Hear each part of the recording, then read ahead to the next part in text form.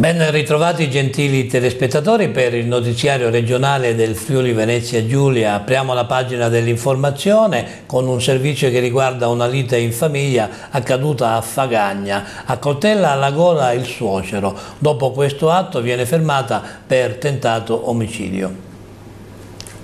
Un pensionato di 65 anni è stato accoltellato alla gola questa notte dalla moglie del figlio, una colombiana di 29 anni che adesso si trova in stato di fermo in pronto soccorso del capoluogo friulano con l'accusa di tentato omicidio. La vittima, che risiede con la compagna a Fagagna, dove è avvenuto il fatto di sangue, è in prognosi riservata, ma fortunatamente non è in pericolo di vita. All'origine dell'aggressione ci sarebbe una questione sentimentale. Per esattezza, un problema di tradimento.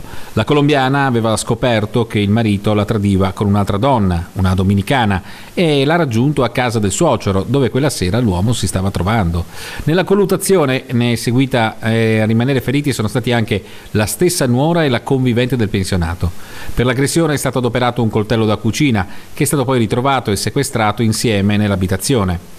Erano circa le tre di questa notte. A dare l'allarme e a chiamare il 118 è stato il marito fedigrafo. Sul posto sono prontamente arrivati i carabinieri della compagnia di Udine, insieme ai colleghi delle stazioni di Fagagna e di San Daniele, che sono rimasti al lavoro per gran parte della giornata proprio per ricostruire l'esatta dinamica di quanto accaduto.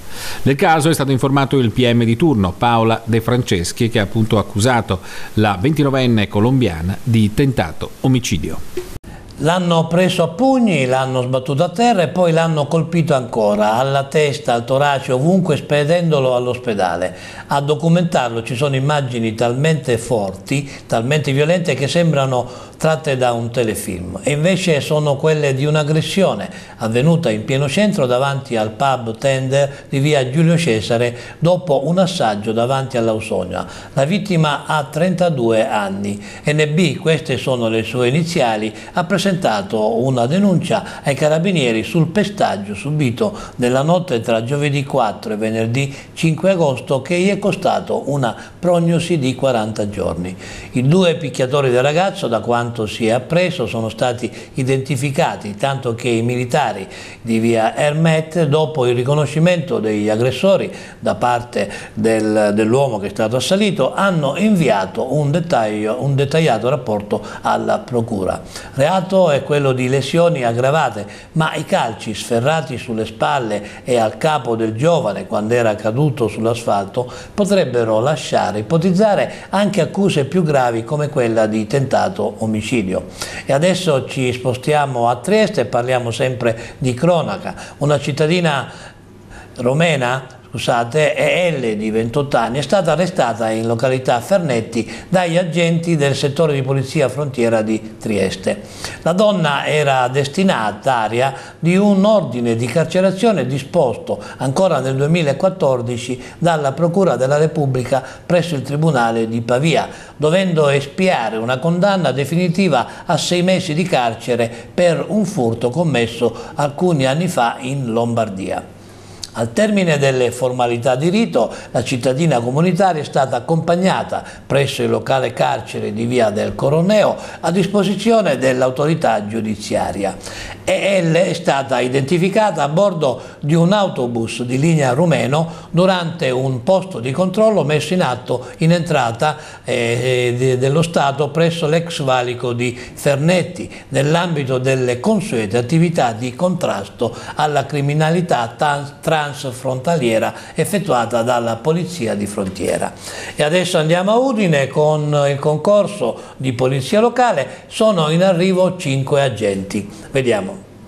Al comando della Polizia Municipale di Via Girardini prenderanno servizio 5 nuovi agenti. La giunta comunale farà fronte alla carenza di personale, 67 i vigili presenti nell'organico, ma secondo i sindacati la pianta ne dovrebbe avere almeno 103 con un concorso.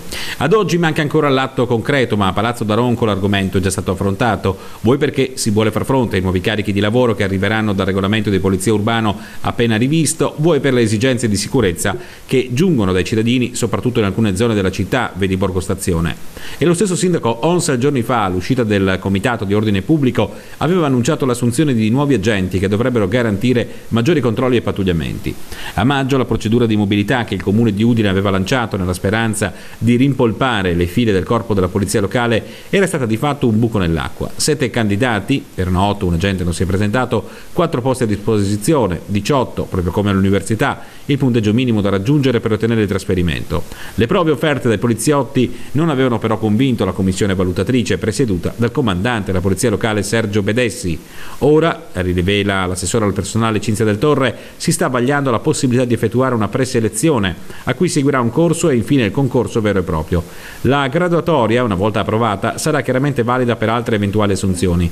Per quanto riguarda i tempi, ancora non sono stati definiti, ma verosimilmente si può ipotizzare che entro fine anno le procedure dovrebbero essere terminate. Capitolo a parte è quello di nonni vigili o volontari della sicurezza, che ogni anno svolgono un ruolo prezioso di supporto agli agenti per controllare l'entrata e l'uscita dei bambini davanti alle scuole. Grazie alla loro collaborazione, ha spiegato Del Torre, viene consentito agli operatori del corpo della polizia locale di impegnarsi in altre attività, il tutto a vantaggio dei servizi di prevenzione, vigilanza e controllo del territorio.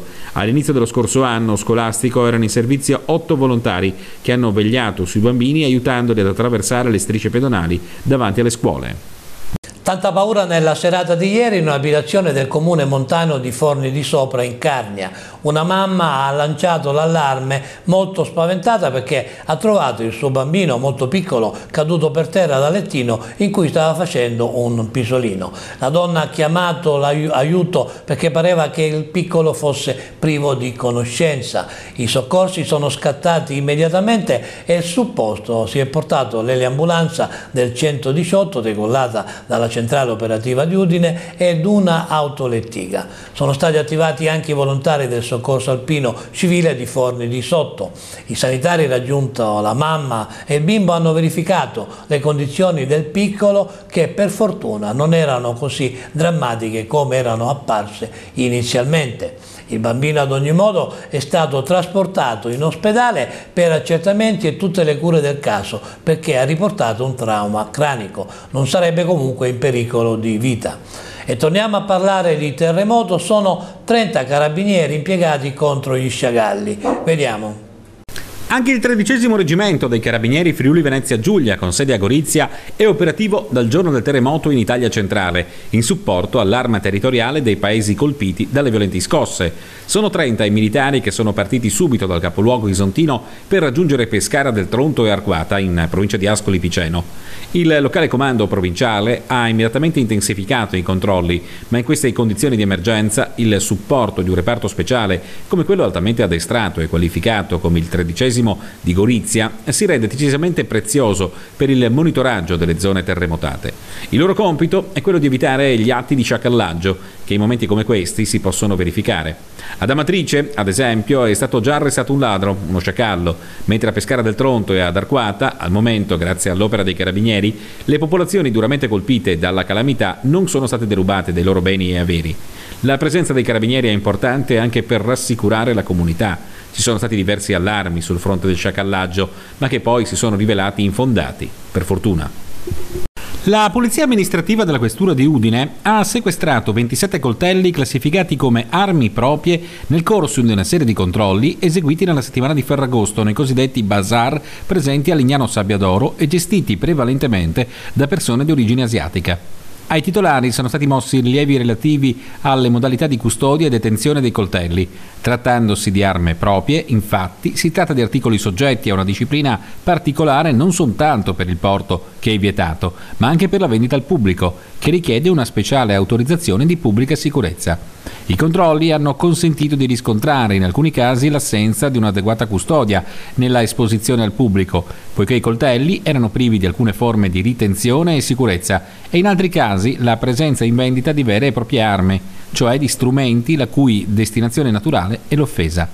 L'attività proseguirà anche nei prossimi giorni, sia a Lignano che nel resto della provincia, inserendosi nel contesto di una serie di verifiche che sono finalizzate a garantire il massimo livello di sicurezza e a scongiurare eventuali gesti di violenza o di interperanza.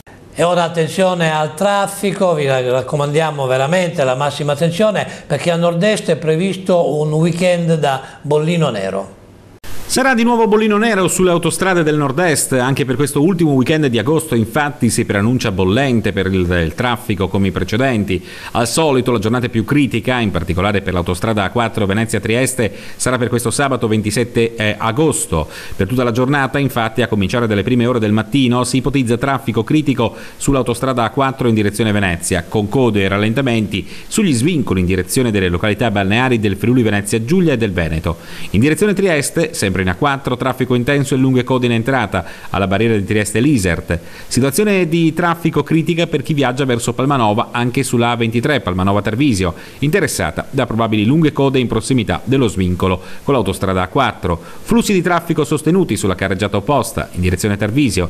Traffico intenso anche in A57 in direzione Trieste e sostenuto verso Venezia.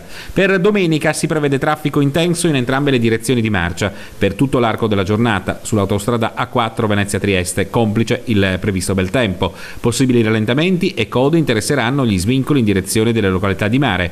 Probabili code o rallentamenti in entrata alla barriera di Trieste-Lisert. Infine, sulla A57, la tangenziale di Mestre, durante le ore del mattino in direzione Trieste e sulla autostrada A23 Palmanova-Tarvisio per tutto il giorno in entrambe le direzioni di marcia è previsto traffico sostenuto. I mezzi pesanti non potranno circolare dalle 8 alle 16 di questo sabato 27 e dalle 7 alle 22 di domenica 28. Notte di follia e paura in piazza Goldoni a Trieste. Al no del barista alla sua richiesta di dargli da bere, un 39enne serbo residente a Trieste si è scatenato devastando a bordo di un furgone l'area esterna del locale, distruggendo letteralmente tavoli e sedie ma anche vasi e piante. Ha iniziato a guidare all'impazzata colpendo qualsiasi cosa che gli passava sotto tiro. Fortunatamente non c'erano persone di mezzo e non si registrano feriti, ma di qualcuno, qualcuno cui ha urlato basta, basta, per favore, perché è stata tanto la paura.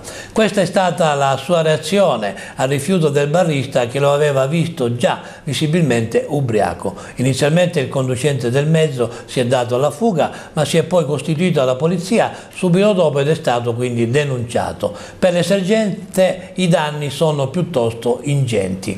E adesso andiamo a Lignano, incontri con l'autore e con il vino. Ospite Giacomo Macciariolo. Sentiamo. Prosegue a Lignano Pineta la storica rassegna degli incontri con l'autore e con il vino. Proprio ieri sera al Palapineta, nel Parco del Mare, è stato presentato il libro Mio fratello rincorre i dinosauri, storia mia e di Giovanni che ha un cromosoma in più. Un romanzo di formazione scritto da Giacomo Mazzariolo in cui l'autore non ha avuto bisogno di inventare nulla. Un libro che stupisce, commuove, diverte e fa riflettere.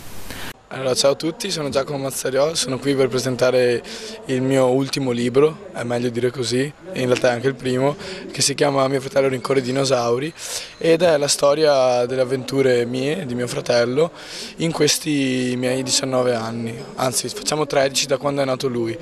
E, e, niente, si può dire che è la storia di un ragazzo che è mio fratello che impara che se, met, se non butta via i soldi quando eh, prende il resto per il gelato non è poi così male. E invece un fratello che impara che la vita è troppo breve per seguire il giudizio degli altri e che ognuno è un genio in quello che fa, ognuno a suo modo è un genio e non c'è nessuna persona stupida a questo mondo. E quindi la verità che pensavo di avere io, di possedere, in realtà è sparsa in giro per tutte le persone di questo di questo mondo. Ecco. La presentazione del libro è stata poi accompagnata dalla degustazione dei vini dell'azienda Le Due Torri di Corno di Rosazzo. Per la quinta edizione dell'ormai tradizionale festa della Catalpa che si tiene nell'abitato di Valle Noncello in programma per sabato 27 agosto, il comando di polizia locale ha disposto alcuni divieti e altre limitazioni alla viabilità del quartiere. Dalle 15 alle 23 di sabato 27 agosto sarà istituito il divieto di sosta per tutti i mezzi in Piazza Valle, in particolare nei pressi delle attività commerciali e della chiesetta solidarietà sull'intera area di parcheggio della palestra per consentire in quest'ultimo caso la movimentazione scusate, dei mezzi dell'ATAP.